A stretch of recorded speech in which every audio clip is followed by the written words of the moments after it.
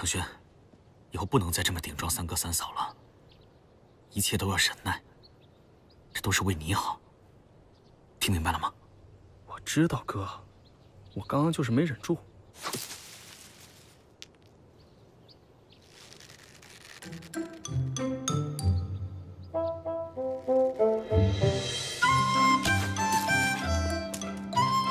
明玉，你好厉害啊！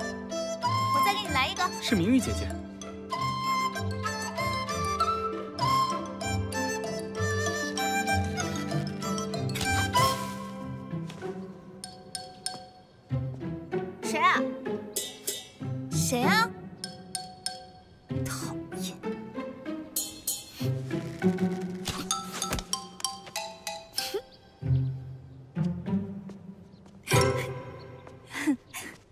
了，明月，我看人是被你吓跑了吧？谁说我跑了？殿下，数月不见，燕王殿下倒成了爱爬墙头的登徒子了。哼，看我不教训你！啊！哎，你怎么不躲呀？疼不疼啊？疼。我以为你会躲呢。没事了，刚才是我恶作剧，现在算是让你还回来了。你傻不傻呀？真儿，嗯，你去拿点茶点来。是，郡主。那个，你屋子收拾好了吗？慢慢收拾呗。嗯，走，去喝点茶。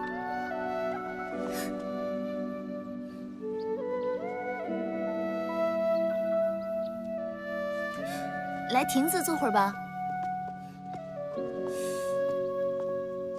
云儿啊，快点儿！这琉璃呀，寓意好，给程旭哥哥做乔迁之礼最为合适了。我呀，一定要第一个给他送到，省得被那个贺兰明玉抢占了先机。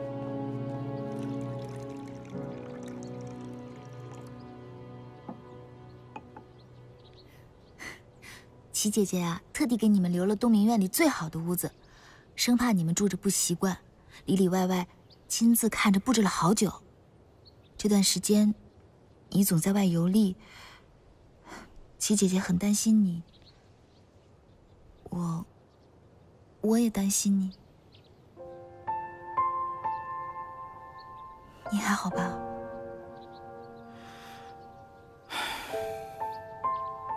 不知道，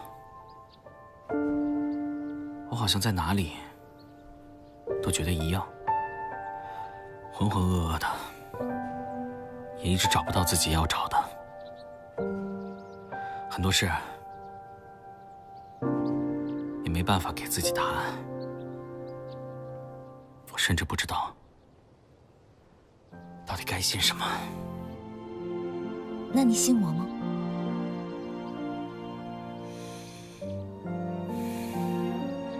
自然。吃口甜糕。在我们雍连啊，挪窝换地儿都要吃口甜糕，表示往后的日子都会甜甜美美的。陈旭啊，有些事你可以还没有答案，但是不能丢了奔头，日子总是还要过的，更不要辜负了你父王和母妃对你的期望啊。明月，你说的很对，谢谢你。不过，这糕虽甜，但是啊，齁得很。你还给了我这么大一个。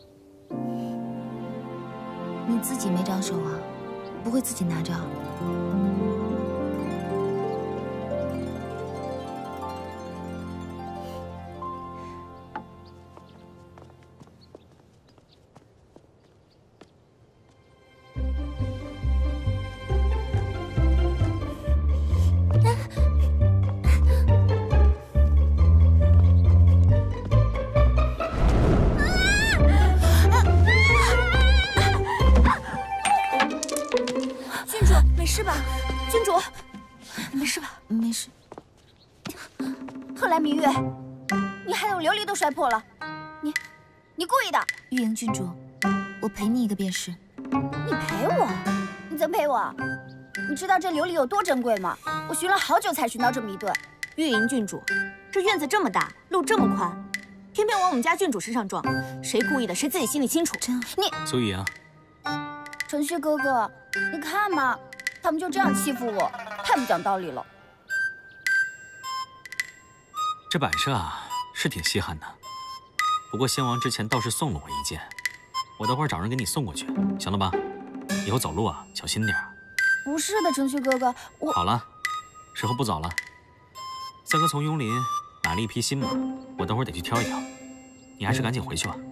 明月，嗯，这雍林的马你最熟悉了，你帮我拿拿主意。嗯，走。不行，我也要去。你又不会骑马，你不是一直嫌弃马场的马又脏又臭吗？你凑什么热闹啊？再说了，马儿最齐声，不怕撂你蹶子啊？别闹了，回去吧。走。其中有好几匹啊。程旭哥哥，你们雍里的马确实是品相上乘。你这你这死丫头，你笑什么？玉莹郡主若不喜欢看别人笑，那我回去笑就是了。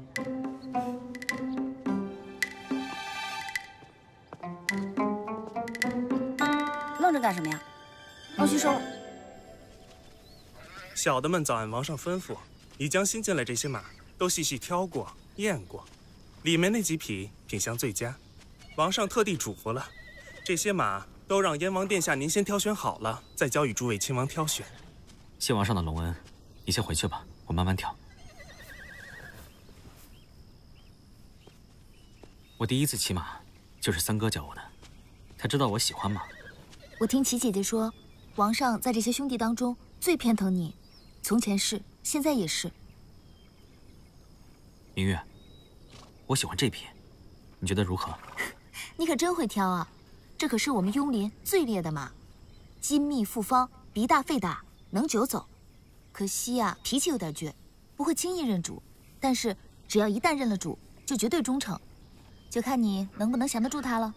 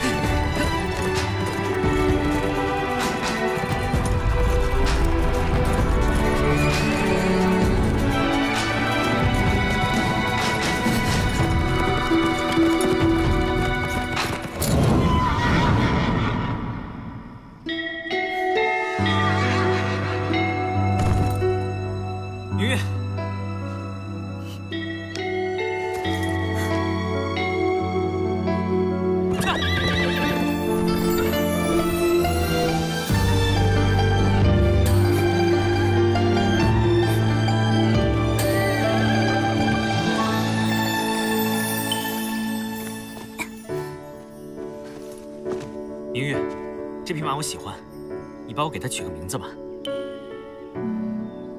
眼下他正是潜龙在渊之时，跟你一样，不如就叫他黑龙吧。你说呢？好，就叫他黑龙。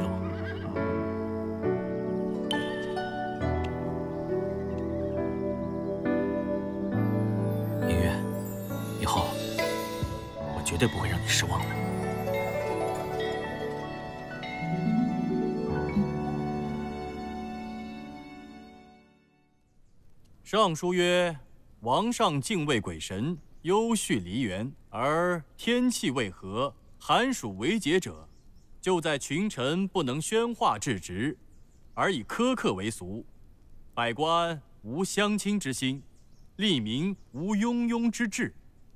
至于感逆和气，以致天灾。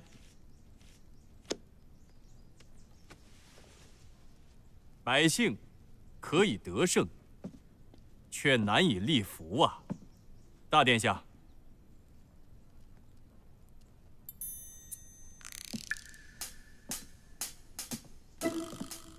大殿下。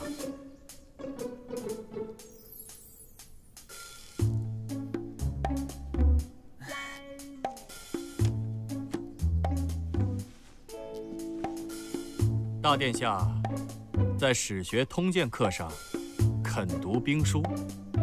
是臣讲的无趣了，还是大殿下不喜欢学史，以为这通鉴无用？父王登基时已对大梁宣战，现在当为我辈上战场驱强敌之时。先生的通鉴课并非无趣无用，只是我觉得于现实来说。它有点不合时宜。眼下边疆确实战火不息，可王上仍令臣在此开设史学通鉴课，而不愿诸位殿下早早步入战场。大殿下还不明白王上此举为何意啊？诸位殿下以为呢？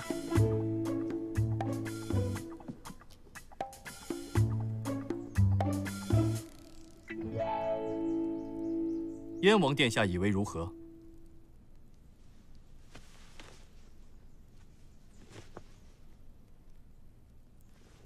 国之所兴，乃因由上至下，能各安其位，各司其职，各务其事，各尽其能。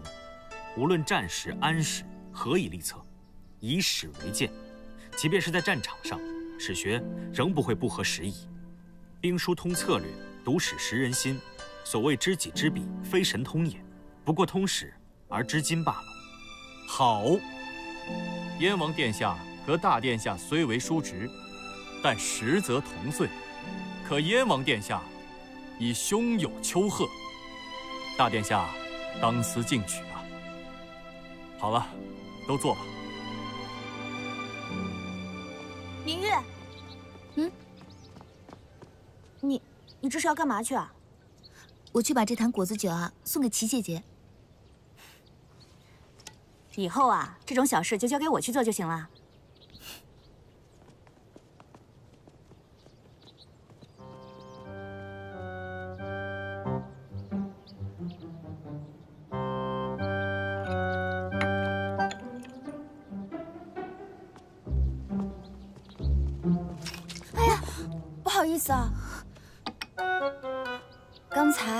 没注意，要不然这个我赔你啊。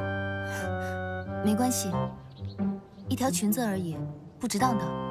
不过玉莹妹妹，你每天这么气哼哼的，对身体不好，肝火太旺，对皮肤也不好。我知道你对我有意见，不如咱们找个地方坐下来好好聊聊。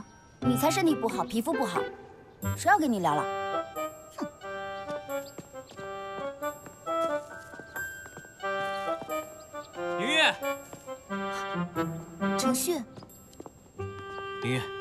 是我给你摘的花，紫苑花，这种花在盛州很少见的。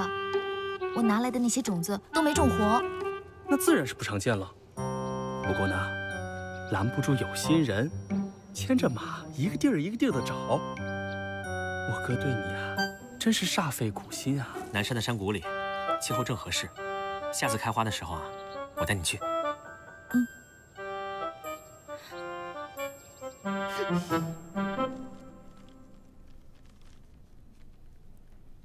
你这样的功课，如何让你父王看？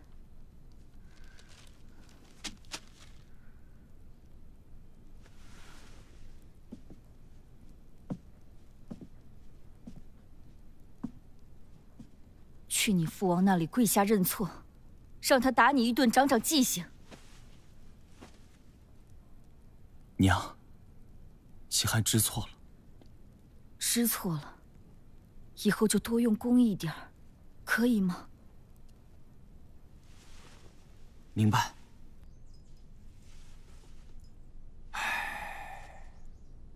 皇上，这么多事，您再着急上火也是没有用的。那也得解决啊，拖不得。从前。我就跟先王说过很多次，盛州时的那老一套是撑不住大圣的发展的，这不一一都应验了。皇上，王妃，这二姑娘过来了，给王上、王妃请安。王妃，这是我们家郡主之前说的果子酒，已经酿好了，请您先把它放置在阴处，等到秋霜就可以喝了。每日小酌一杯即可。明玉有心了，歌儿。什么果子酒啊？没听说你爱喝这个。不是我要喝的，原是我无意中提起，说您在寒冬中有喘咳之症。明玉少时随他父兄游历的多，正好得到一个偏方，说验证过确有奇效，我便让他做下来给你用用。明玉这丫头会的倒不少，好，若果真有用，我一定会好好赏她。奴婢先替郡主多谢王上恩典，可王上也知道，即便是正经药方，也会因人而异，效用不同，更何况是这偏方。倘若有那么一点点偏差，王上觉着并无效用，也请王上莫气莫恼。就算是看在我们家郡主为采摘这四十果子，每一粒每一颗都细心挑选、诚心酿制的心意上，我看你这个小伴读倒也随他一般啊，机灵伶俐的很呐。行了，你们都放心，成不成的，我都会上，就冲他这份心意。王上圣明。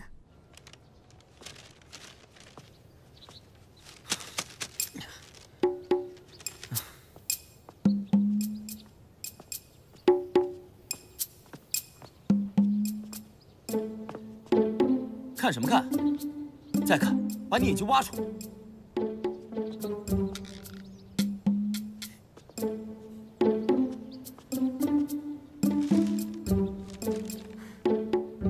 我早就听说了，皇上对大殿下的功课要求格外严格，但有不好就要罚跪整夜。我说呢，这大殿下宁愿在这独自吹风，也不进去。不要你多事。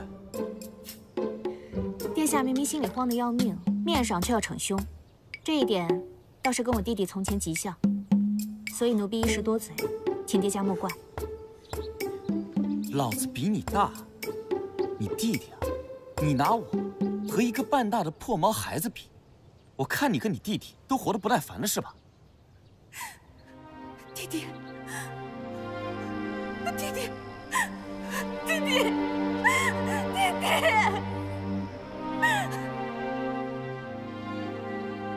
弟弟早就不在了，在西岐面目青州的那一天，跟着全家人一起没了。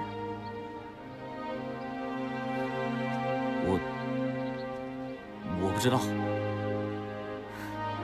都是从前的事儿了，殿下不必放在心上。谁放在心上？哦，对了，我想起来。之前有一次，弟弟功课做得一塌糊涂，我呢帮他瞒过了父亲的检查，还少挨了板子。殿下要不要试一试？你能有什么本事？还有，你别在这儿拿我跟这个比，跟那个比，比来比去的。谁功课一塌糊涂？哎，文不通，理不顺。这先生的评语也太不留情面了吧！不过我知道，殿下不是不会，而是不服不屑，对吧？那既然如此啊，哎，你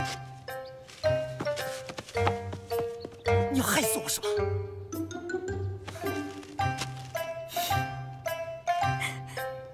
殿下，这王上每日忙得很。才不会去问先生今日功课是何，也不会知道今日出了测卷的。你呢，只需要告诉王上，今日先生考的口头作答，问的是可以以史为鉴，运用于战场，然后再把燕王殿下的答案复述一遍，这样就可以了。你这是欺君罔上，哪有这么严重啊？殿下要是不愿意，就算了。反正我看这卷子也没有撕得很碎，不如你沾沾好，拿去给王上看。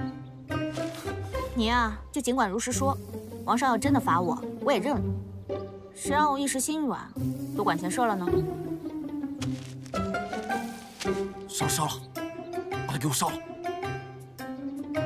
殿下，这法子虽然有用，但也不可常用。倘若哪天王上得闲，细问起来就得露馅儿。所以啊，殿下即使再不服不屑，往后也请好好听课，好好作答吧。多事。我再问你一遍，到底让不让我进去？玉英郡主，燕王殿下和誉王殿下都不在，真的不方便。我进去坐着等。不行啊，郡主，燕王殿下交代过，除了明玉郡主，谁都不能进去。臭丫头，连你也敢欺负我是不是？我没有，郡主，没有。你以为我不知道你们说我什么吗？你们说我苏玉莹没有贺兰明玉她漂亮，她可爱。你们说我苏玉莹不是正经八百的郡主。就是因为我小姨是王上的嫔妃，我才讨了个郡主的称号。你们还说，你们说我苏玉莹和她贺兰明玉名字里虽然都有个玉字，但是我这一块远没有她那一块来的珍贵。你们，你们这些狗奴才！林芝儿，你干什么？没事吧？我得给你提个醒，打狗还要看主人。灵儿是王妃娘娘特地拨给燕王殿下的侍女，你打她不要紧，你就不怕燕王殿下责怪你吗？你快下去吧，多管闲事。我和程旭哥哥从小一起长大，他会为了丫鬟责怪我吗？说的也是，或许燕王殿下真的不会责怪你，那是因为啊，他总躲着你，你想要见到他，听他责怪也没有机会。林芝儿，你敢这样跟我说话？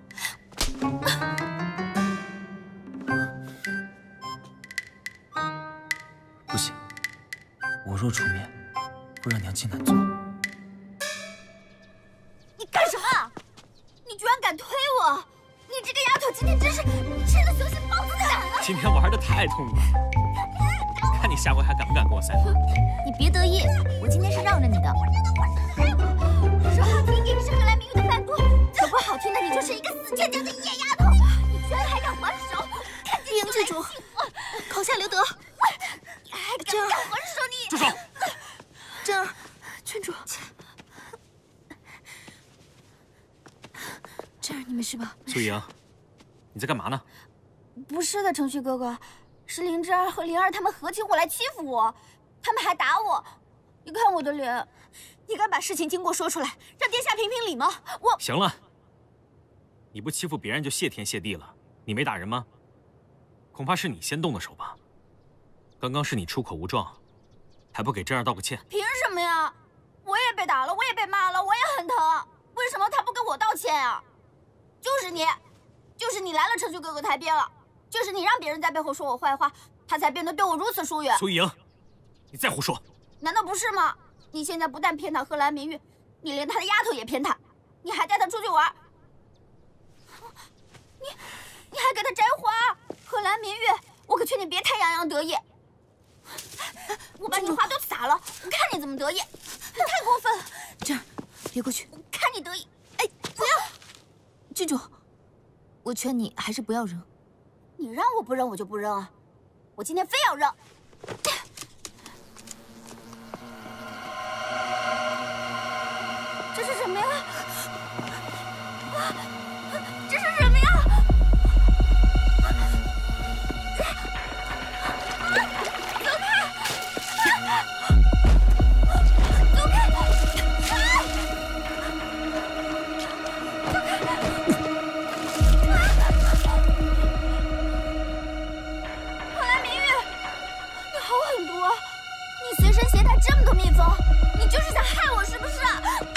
够了没有？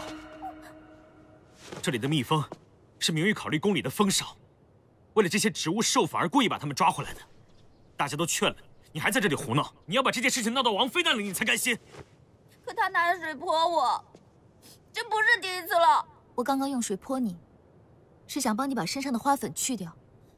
紫苑花粉是最招惹蜜蜂和蝴蝶的。你刚刚把那些花都采掉了，花粉都扬到了你的身上。蜜蜂才会绕着你转个不停，郡主，我真的是想帮你，希望你不要误会我。既然你心里现在都已经清楚了，是你自己害了你自己，还胡闹？哼！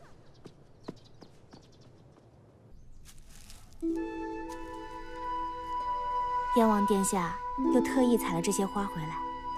程旭有心了，我喜欢什么，他都知道。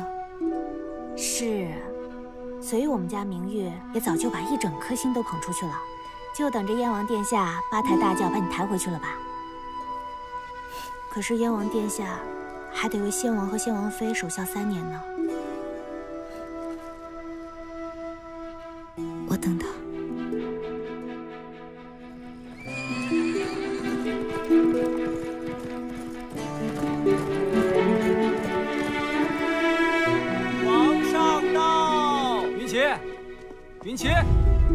皇上，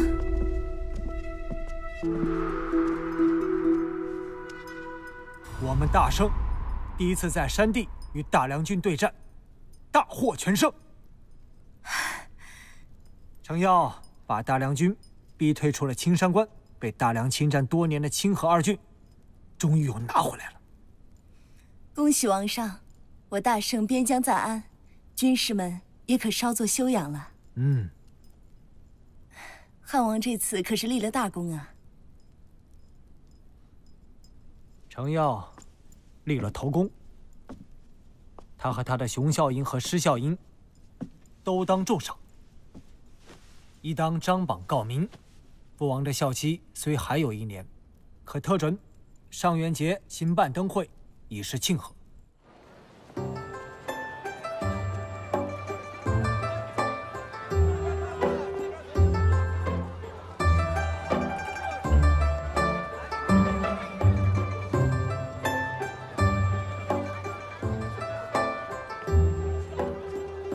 来这几年，今天正好赶上这么热闹。三哥和三嫂啊，要去问天殿祭天，我也没什么事儿，我就过来陪陪你。这里真的好漂亮啊！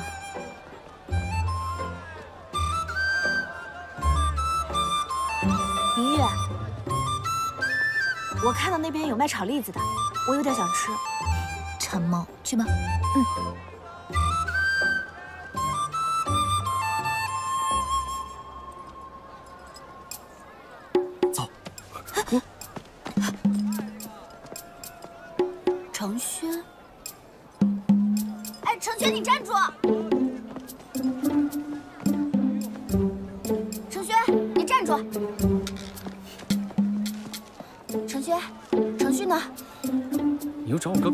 又不喜欢你。我，程轩，这么多年，姐姐对你不错吧？没有少掏腰包买你喜欢的东西吧？还成吧。那你看，你玉英姐姐是不是已经变了挺多了？有吗？怎么没有了？你说程旭哥哥怎么就看不到我在变好呢？程旭，你说我对你这么好，你是不是应该多在你哥哥面前说说我的好话？嗯，这得看你对我有多好了。今天，刀王张会开价，要卖他那把用一年时间锻造出来的宝刀哦。我给你买，走。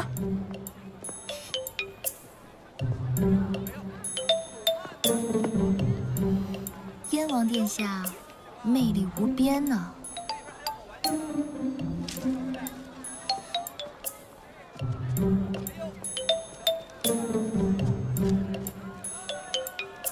有时一道自然醒，打一个字儿。有时一道，星辰的星字。大殿下，有什么问题吗？没问题。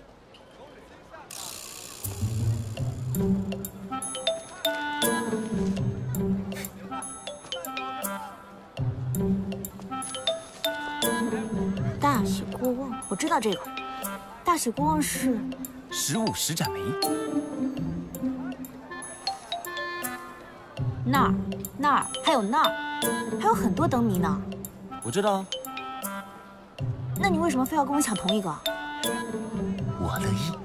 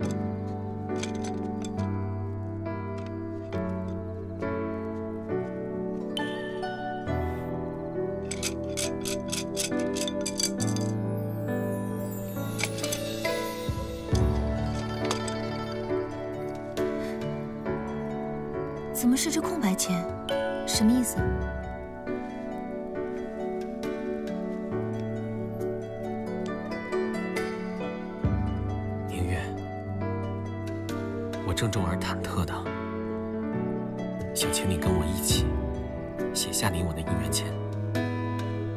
这一辈子，我要和你不离不弃，纠缠不休。月神娘娘是北境的庇护神，我要让她来为我们见证。我已经向三哥抢了军职，我会在军中磨砺自己，我要成为你心目中的大英雄。明月，我也会建功立业，让三哥准我离宫见父。离消息还有一年，以一年为期。明月，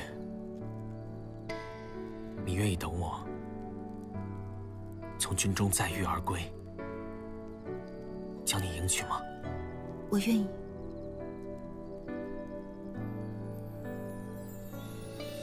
等你平安回来的时候，我们就把彼此的心愿写在姻缘签上，好不好？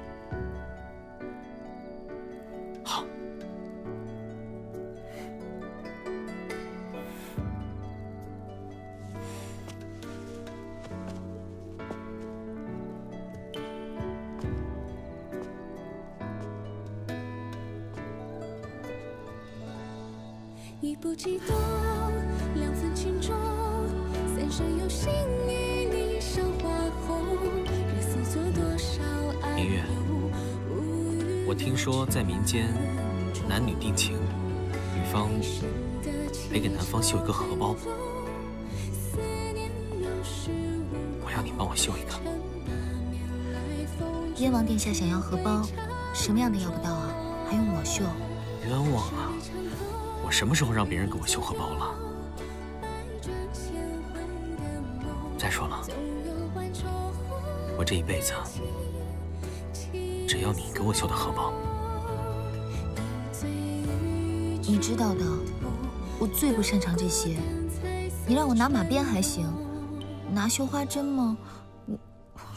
就算你绣的再丑，我也喜欢。你嫌我绣的丑啊？那你去找个绣娘吧。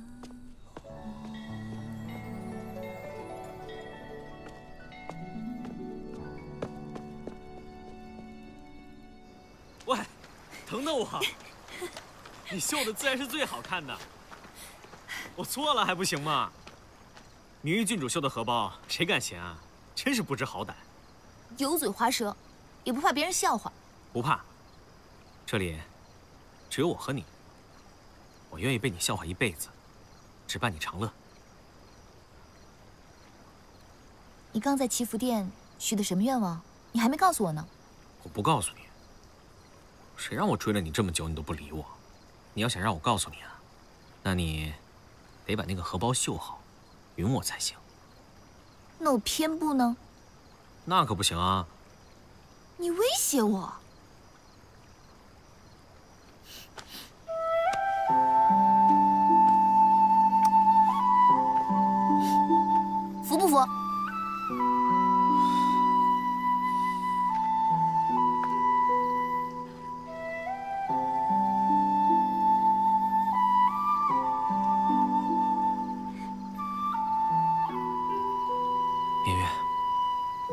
就是想要跟你相依为命一辈子，永远都不分开。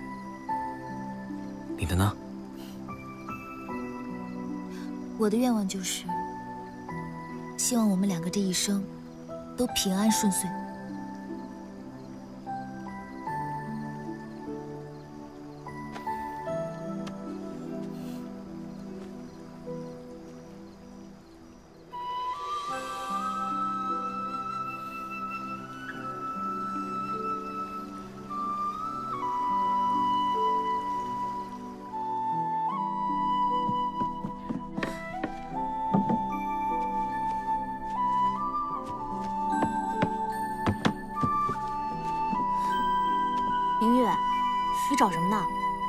找针和线，还有绣架。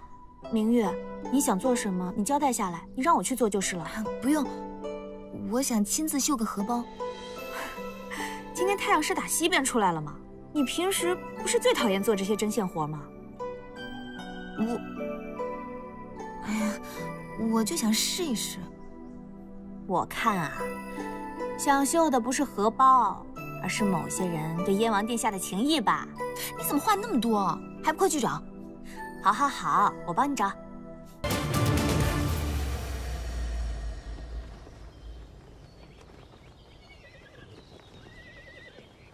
爷爷跟哥哥怎么还没来啊？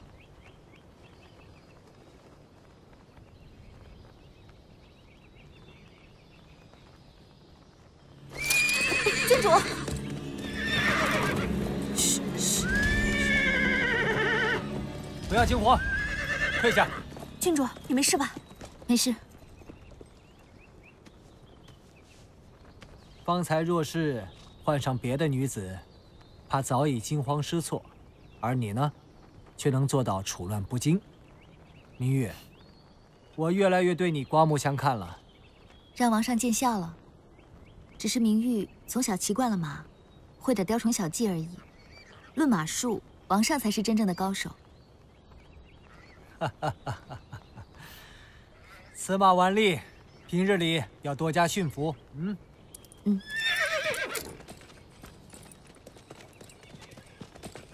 驾，驾，驾。明玉，你这匹马平时挺温顺的。怎么今天忽然就受惊了呢？我也不知为何，今日心慌的很。我看你啊，是太久没有见到幽灵王和小郡王了吧？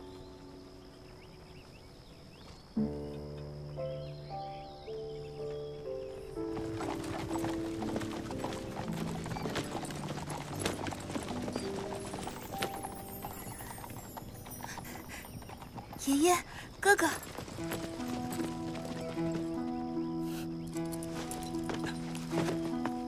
明玉，明玉，见过爷爷，哥哥。我的宝贝孙女，我看看，嗯，爷爷。哎呀，好看了，嗯，啊，这几年待在你齐姐姐身边，出落的是越发标致了。是啊，谢谢爷爷。幽灵王，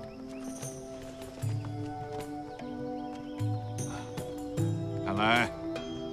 能活着见到我的孙女婿当上大圣王上，上天待我不薄啊！幽灵王，两年不见，风采依旧啊！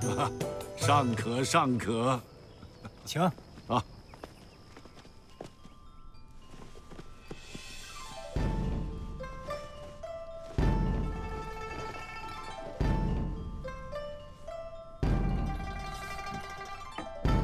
爷爷，您少喝点儿。今天不是高兴吗？程瑞啊，自你即位这几年来，你将大圣治理的是好生兴旺啊！哎，人人都说这大圣王君威不逊先王当年，这治国之才嘛，更是有过之而无不及。大圣的国运当真是无可限量啊！雍灵王过奖了。跟先王比起来，我还差着远着呢。哎，何须自谦呢？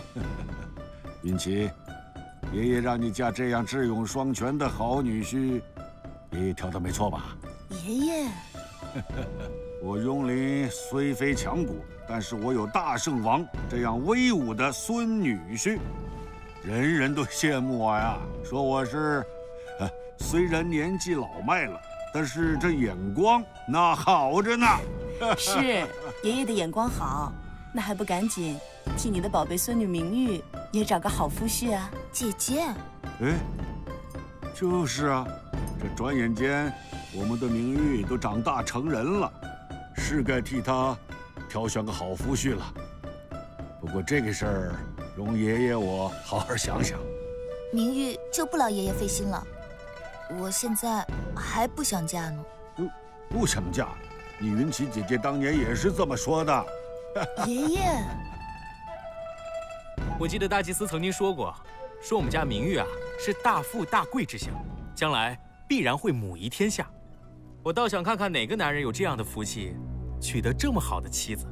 哥哥，当年的玩笑话你怎么又拿出来说，让大家笑话？来来来，干！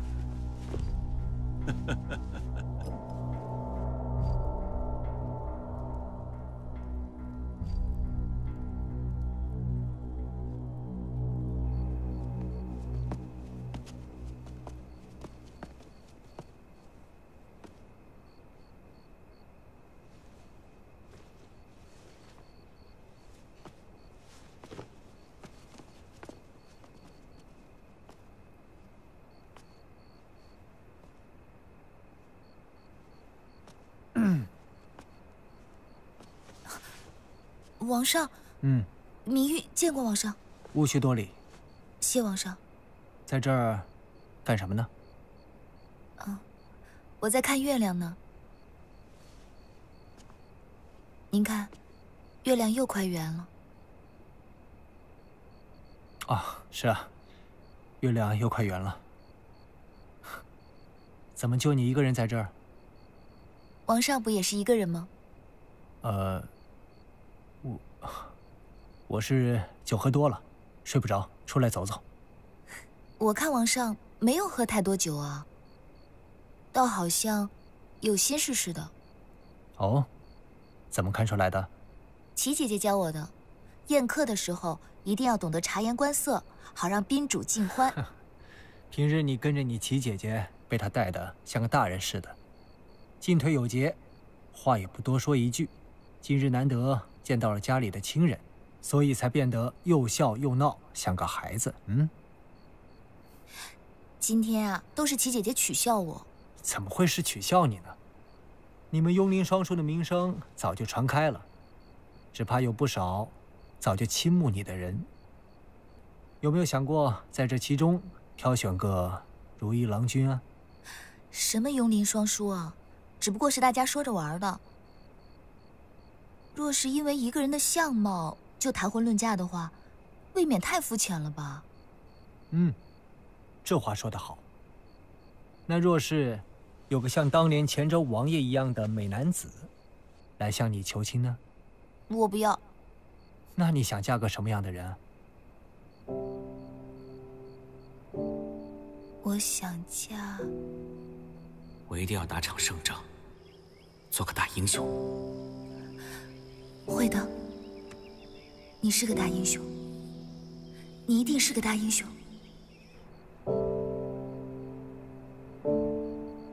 明玉，明玉，王上，想什么呢？这么入神。明玉，真儿，奴婢拜见王上。起来吧。谢王上。呃，时辰不早了，你们也早些回去休息吧。是，恭送王上。嗯。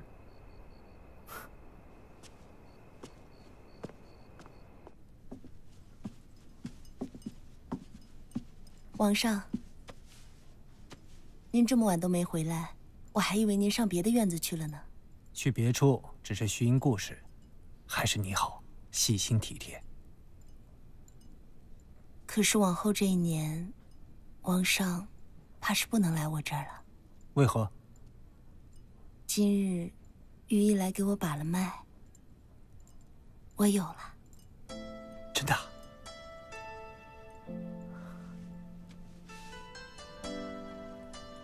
今日王上出宫迎接爷爷去了，所以还没来得及告诉您呢。太好了，来，太好了。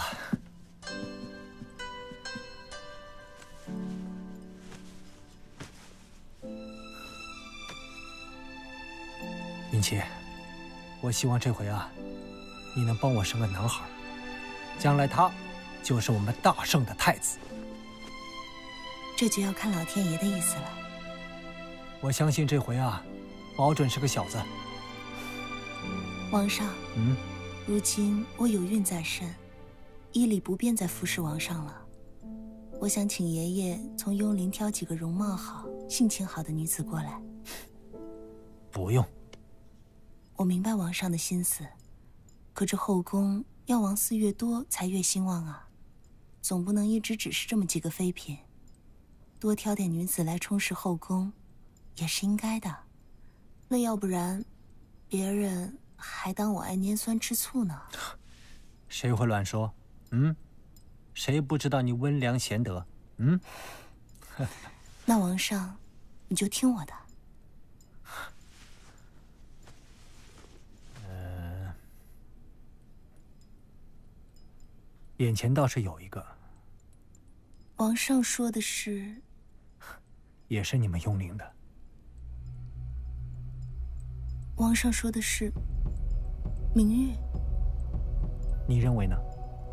啊好啊，原来王上早就对明玉有了心思，竟瞒着我了。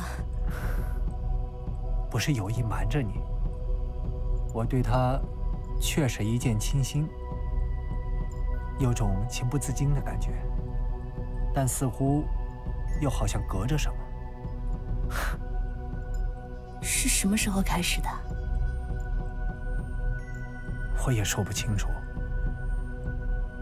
刚开始，只是把她当成妹妹看待，确实没什么。只是觉得她格外的聪明，鬼点子多，挺有意思的。或许是，又或许什么？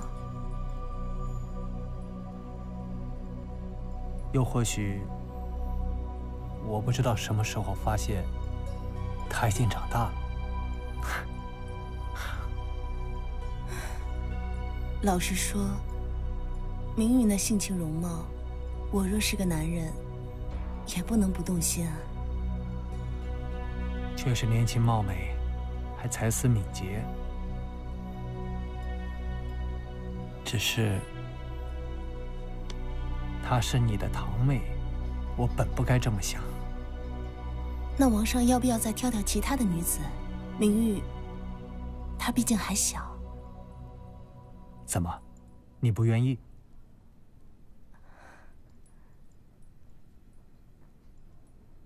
云奇，今日贺兰科用那番话，还记得吗？啊，您是说，他说明玉会母仪天下的话？他是说笑的，您倒当真了。命相之术本就是无稽之谈，但我宁可信其有，不可信其无。可这机会也太小了吧？万一呢？这天下，中原大地已经四分五裂多年，或许我萧承瑞，就是将这中原统一的那个帝王。可若真有这么个万一，那嫁给一国之君的是我，这母仪天下的，也该是我才对啊。当然是你。可我们，也不能将这个万一的可能，送给别人，你说呢？王上的意思，我明白了。哦。好啊，这可是件大喜事啊！我就知道爷爷一定会答应的。是啊，所以爷爷将我嫁来了大圣，将婉英嫁到了西岐，这都是爷爷为子孙的深谋远虑啊。嗯，你说的对啊。如今这大梁是残暴不堪，民心尽失，而西岐。全盛时期已过，爷爷看，唯有萧承瑞，他精明干练，文武双全，既有守业的能耐，更有开创的雄心。日后啊，大圣必将更加兴旺。趁着这个机会，我们雍林若能与他再结上一层姻亲，对雍林无疑是一件再好不过的事情了。真没想到，我妹妹的身手还是不错呀！那当然，你以为我离开雍林，连马都不会骑了？哎，好久不见萧承煦了。记得当年他来雍林的时候，我们一起骑马、猎鹰、打猎。真想看看他现在是什么样子。现在啊，现在人家萧承旭长大了，威风了，都率军出征去了。不过，月都圆了三回了，也不知道他什么时候才能回来。我知道，你知道什么？萧承旭他，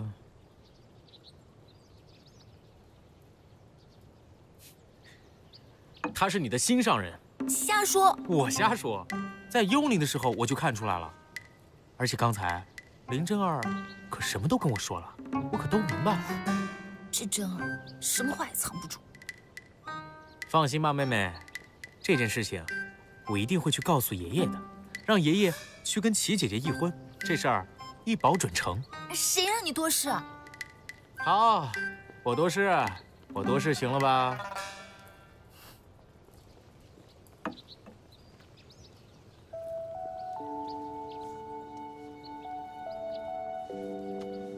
哎，我这个妹妹啊，可真是嘴硬心软。这一天了，一直都心不在焉的。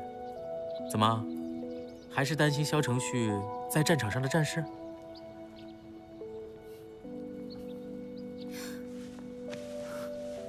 这程旭啊，虽然骁勇，但是毕竟是第一次带兵打仗，我这心里啊，难免会有些担心。不过哥哥，我更担心的是婉音姐姐。这个西岐大狮子啊，性情暴躁。他知道大圣和我们雍林关系密切，这次大圣和西岐对战，你说婉音姐姐会是什么样的处境啊？你放心，婉音，她是你的姐姐，她也是我贺兰克雍的妹妹。我妹妹的事情，我定然不会坐视不管。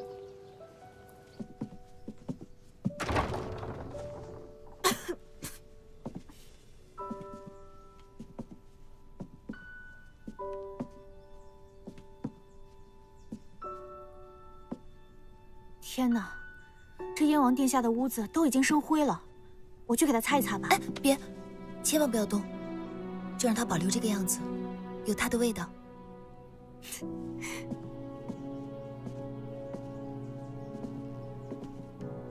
也不知道燕王殿下什么时候才能回来。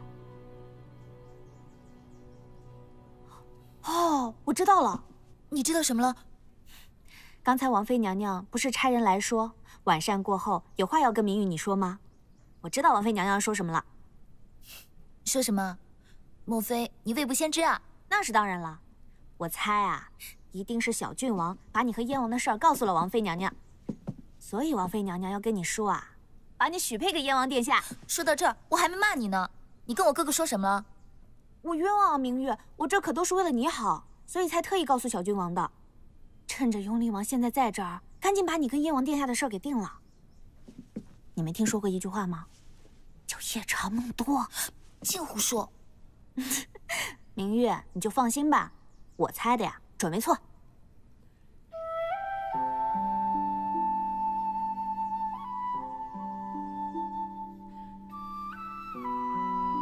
齐姐姐有了身子，也不早点告诉我。我这也是才知道，这不就来告诉你了吗？那你以后有什么不方便的，就吩咐明玉去做。今后啊，我不便再伺候王上了。本来想多挑几个女孩来充实后宫呢。好啊，让王上去雍林选吧，正好多来几个家乡的姐妹，这宫里可就热闹了。话是不错，可何必到别处去挑呢？这眼前不就有个顶尖的吗？谁啊？嫁给王上，身份尊贵无比，才不枉了你天生的这般才貌。况且，爷爷对这件事也极力赞成，因为这样，雍林跟大圣的关系就更深了一层。你说，这不是一件天大的好事吗？还有啊，王上说了，你一进门就封你做侧妃，这也是王上看重你的表示。七姐姐，这到底是怎么一回事？这怎么可以？王上看中你，有什么不好的？我不是说这个，齐姐姐，现在提我的婚事，未免有点太早了吧？早什么？这女孩子总是要嫁人的呀。明玉，明玉宁愿终生不嫁。怎么？你不愿意吗？在我心里，王上是尊敬的长辈，怎么可以？我也知道，你对王上的想法可能一时还转不过来。哦，不光是这个，还有别的原因。还有什么原因，让你会不肯嫁给王上？七姐姐，我不是不肯嫁给王上。而是除了一个人，我谁都不嫁。是谁？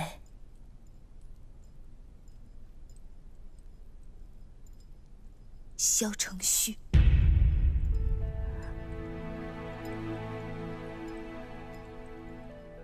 七姐姐，自从你那年带着程旭去雍林省亲，他的心里便有了我。我的心里也有了他，我们早就钟情了彼此，也有了婚娶之约。你们瞒的可真好啊！齐姐姐，明玉不是有意要瞒着您的，只是为了守规矩，我不敢跟程旭逾越了身份。再者，我们还年轻，程旭还没有建功立业，我们不敢开口请求王上指挥。但是程旭说了，等这次打了胜仗回来，他就先别说了，让我好好想想。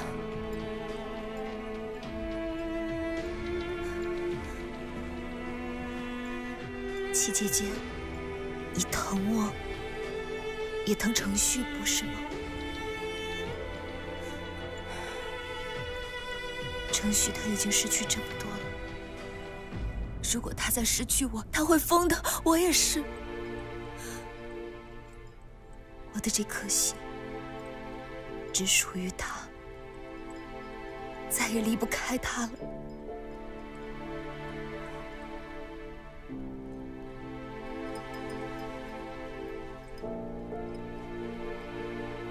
明月，我实话跟你说了吧，这件事不是我跟爷爷的主意，是王上。是他亲口要的你。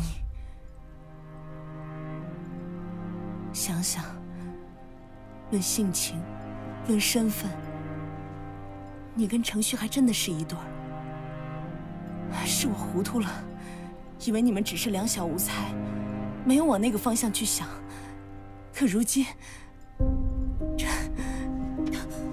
七姐姐，七姐姐，我绝对不能辜负了程旭。我求求你。帮我想个法子，把这门亲事退了吧。若你的心上人是别人，或许还有转圜的余地。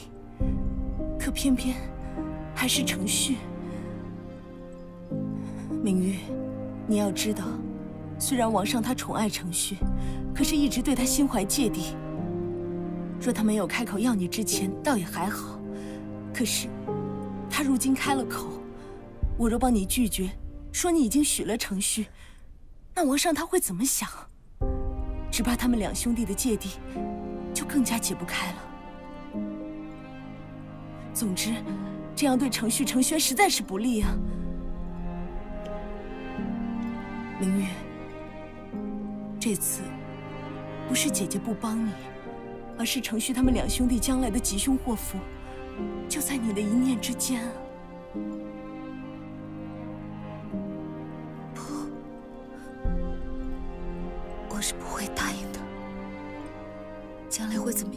顾不得了。不管怎么样，我是不会跟程旭分开的。要死一起死，要活一起活。王妃，郡主，恕真儿冒失。歌儿那边传话来说，誉王殿下从前线回来了。你说什么？程轩，是的，誉王殿下吵着要见王上，可您不在，歌儿不敢做主，没有人敢去御书房打扰王上。我先去看看，你再好好想想吧。程轩怎么会突然回来了？还要急着见王上？真儿，你还听到了些什么？我听见歌儿说，誉王殿下满眼通红的回来，而且嘴里还喊着燕王殿下的名字。程旭，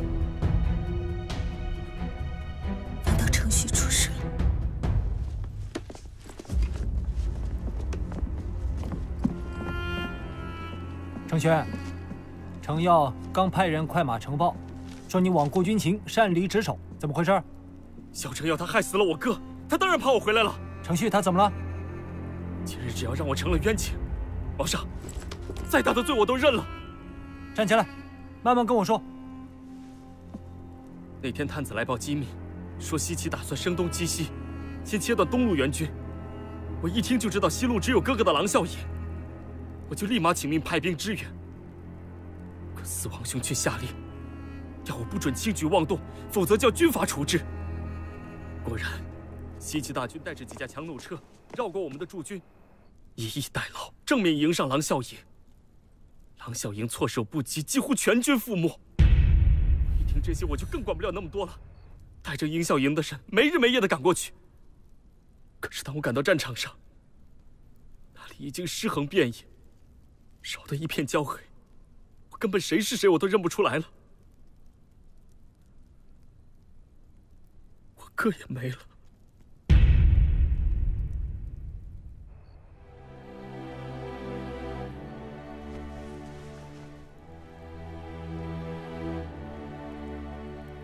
你说程序人没了？你去找了吗？我找了，战场和附近周围我全都搜索数遍了，可是除了尸骸，未见生还者。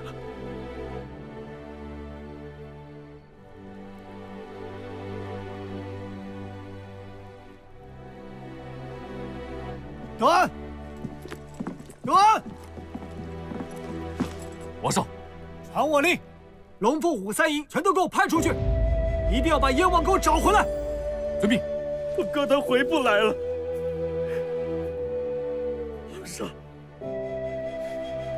这些全都是拜萧承耀所赐，你一定要给我们讨个公道啊！成全，事实如何，我自会查明。可是你身为一营主帅，怎么能擅离职守？你不知道这违反军令吗？而你说的，我只能当是武断猜测。我要去调查，这些不是猜测，王上。不知道情报也就罢了，他竟然知道，他不应该派人去探探虚实吗？可是萧承耀，他不闻不问，放任西岐大军通过防线，还不肯派兵支援，任由我哥的郎啸云去送死啊！我思想通知哥哥的时候已经晚了。萧承耀他是不是故意的？自己心里知道。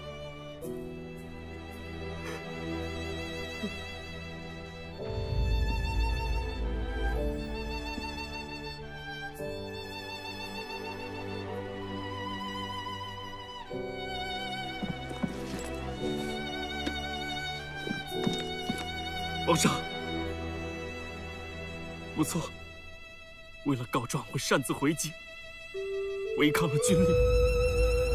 该我的我不会逃的，你们怎么处置我都可以。最好把我们兄弟俩全都弄死，这样有些人就安心了。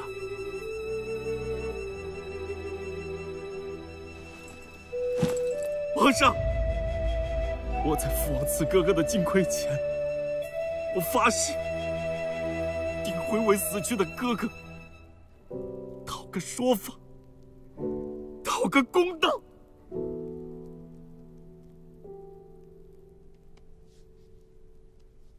明月，你好歹说句话呀，明月。要不然你哭一场也好啊。你别吓我。真儿姐姐，誉王殿下的侍卫在外求见，快请他进来。是。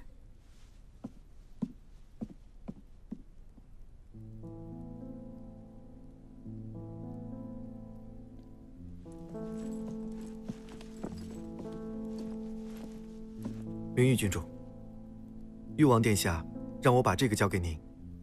他说，这是燕王殿下的东西，他应该希望把这个留给您。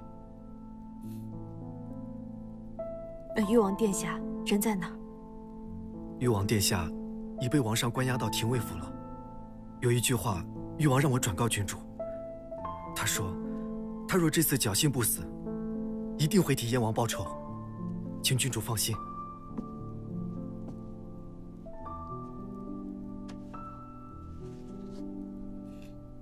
先下去吧。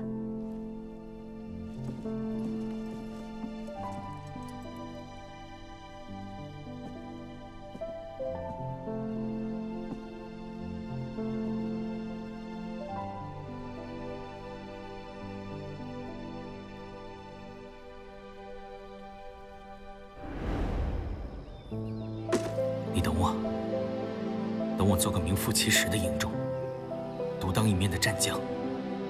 到时候，我要向三哥请旨，让他把你指给我。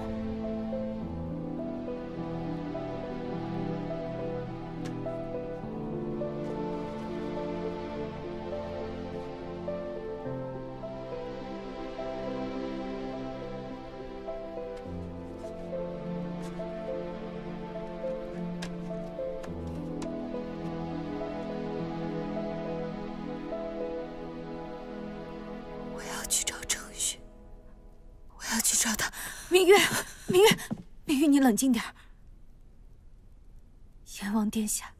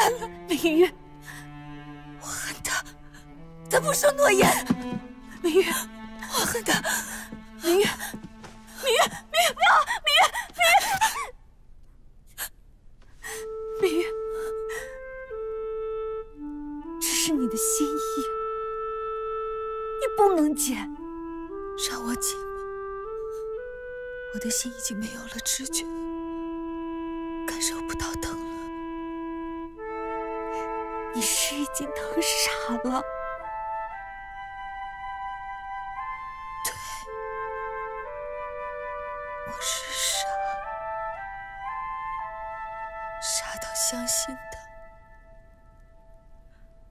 相信他说的每一句话。他说他不会把我一个人孤零零的抛在这个世上的。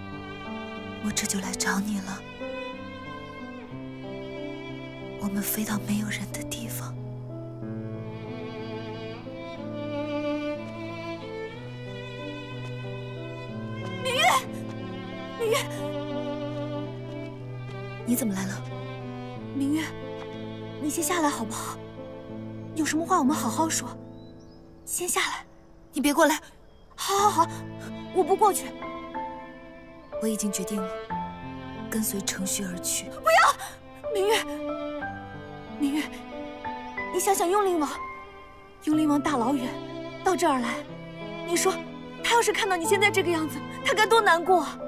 我顾不了那么多了。明月，你不能死！昨天王妃和你说的话，我在门口全部都听到了。如今你是王上要的人，你死不得。那我更应该去死。若他们非逼我嫁给王上，我怎么能对得起程旭呢？你若现在为燕王殿下殉情了，那誉王殿下呢？皇上盛怒之下，誉王殿下还有命活吗？誉王殿下现在已经被关起来了，他犯的可是军法大罪啊！程轩，还有我，明月，你把我救回来，咱们从小一块长大，都把你当做亲姐妹一样。好，你要死可以，不管上天入地，我陪你一起。你别这样，你信不信？你现在要是跳下去，我也绝对不会多活一刻。你不要拿你自己的性命来逼我。明月，你死是痛快了。燕王殿下的死到底有没有冤情？我们总要查清楚，是不是？还有誉王殿下，燕王殿下唯一的弟弟，他现在身陷囹圄，擅离军营是砍头的重罪。你若是死了，没有人替他求情，他必死无疑呀、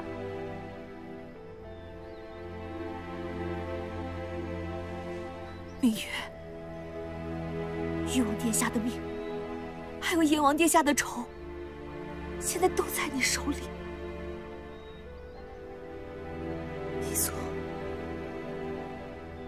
不能死。为了程轩的命，程旭的仇，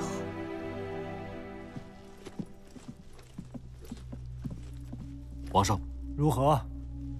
咱们三营的人刚刚传来消息，说还是没有找到燕王殿下的下落。继续去找，扩大范围给我找。是。汉王那里查得如何？汉王身边的帅将，以及身为副帅的魏王，证词全都一致，都言燕王落难，与汉王无关。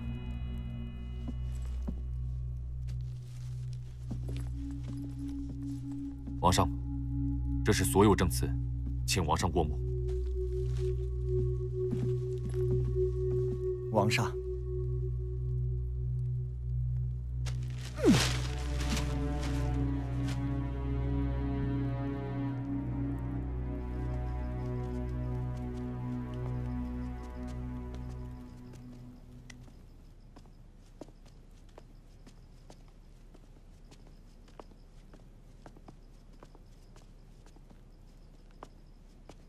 程轩，明姐姐，程轩，他们都不相信我，你相信我的对不对？我可是被害的，他们是故意的，他们是故意的！放我出去！放我出去！放我出去！程轩，皇上根本就没有要调查肖成耀，根本就没有为我哥做主。我早就该知道他们俩是一条心的，我从头一开始。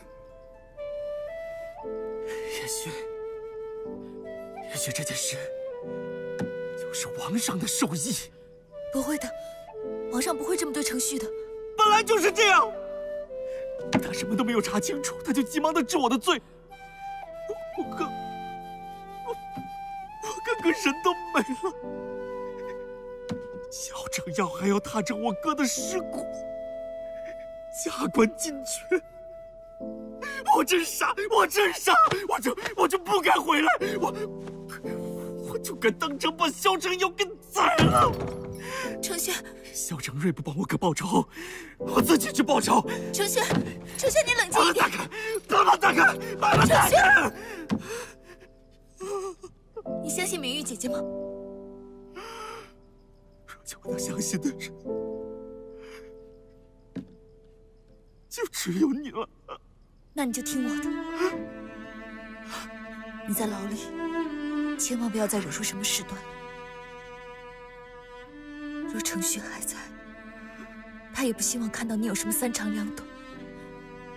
你要再这么闹下去，仇不但报不了，还会落入别人的圈套里。你放心，明玉姐姐一定会想办法救你出去。还有程旭，他所受的冤屈，我一定会查个明明白白。